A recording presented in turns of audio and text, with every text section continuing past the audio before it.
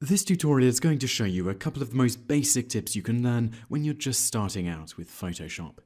It will allow you to take one of your photographs and make it look just a little bit more professional. You're going to learn some of the tweaks that a professional will do when they first open that image in Photoshop.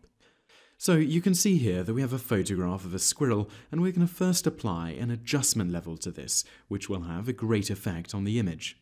So you'll want to click Layer, then go to New Adjustment Layer, and then click Levels.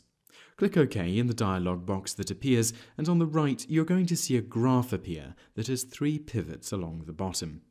You'll see the graph here is more off to one side than the other. Here it's on the left, but it could be on the right on your image, depending on whether your photo is generally too light or too dark. What we want to do for this image is grab the pivot on the right, the white pivot, and drag it just a little bit to the left, and you'll begin to notice that the photo becomes a little bit brighter. Now, grab the pivot on the left and drag this one in just a little bit. You'll notice that the dark areas, which might have been looking a bit washed out, a bit grey, become nice and black. The middle pivot just adjusts the overall brightness. Here you can see that dragging it to the right gives a nice, richer feel. Adjusting the levels graph is really mostly about just looking at the photo and moving the pivots on this graph until it looks right. How you move these pivots will very much depend on your image. These settings just happen to work very well for this image. Now we're going to need to add a different sort of adjustment layer, which is also something that many professionals will do with almost every photo that they take. This is adjusting the curves option. So click Layer, go to New Adjustment Layer and click Curves. Click OK. You will see that another graph appears on the right, and this time you'll see a line running through the center of it from the bottom left to the top right. The most common type of curve that a professional would add to their photo is something called the S-shaped curve. This involves putting a pivot up the line about three quarters of the way along and then another pivot at the quarter point. You're going to then need to take the quarter point and drag it down a little, and take the three quarter point and drag it up a little. You're just going to have to do this a really small amount, and the amount you do will depend on your photo.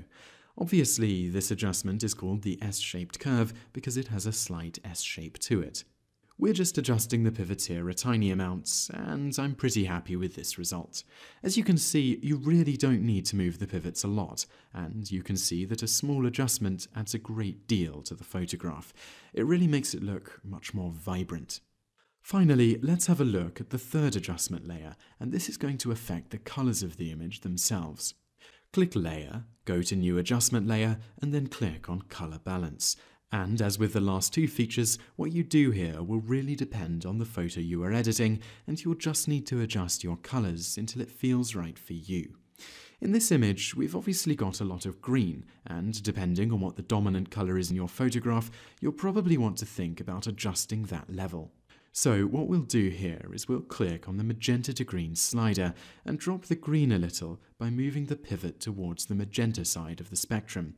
And what's nice about this is it really stops the green being too garish, and it makes the squirrel a better subject of the image. Another popular adjustment you might want to make here is making the image slightly warmer, and you can do this by using the top slider and just moving it slightly towards the red spectrum. As you can see, it adds a nice warmth to the photograph. This setting here works about right for us. Obviously, and as I've said before, the adjustments you make here will depend on your photograph. Okay, well that's about it. Let's close the adjustment panel and you can see we have a rather good looking photo and just to show you how good this looks compared to the original, I have a copy of the photograph before we began editing it open and you can see the photo really does look more vibrant, really more interesting. So that's before and this is after.